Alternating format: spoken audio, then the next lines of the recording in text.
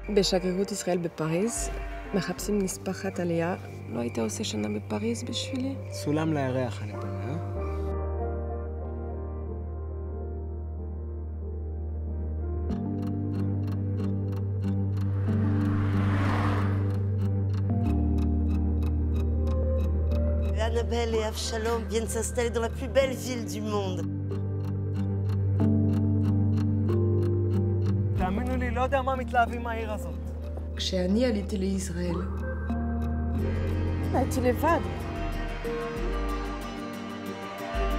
אתה משקר לעצמך.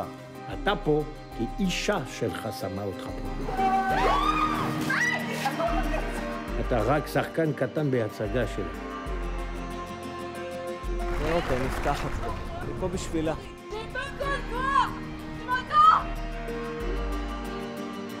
שלום, איפה אתה? היה פיגוע. איפה אתה? אני באה לאסוף אותך. דברי עברית!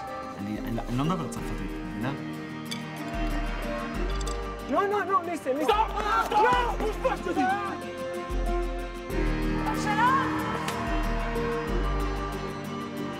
אתה באמת הולך ומשאיר אותי לבד?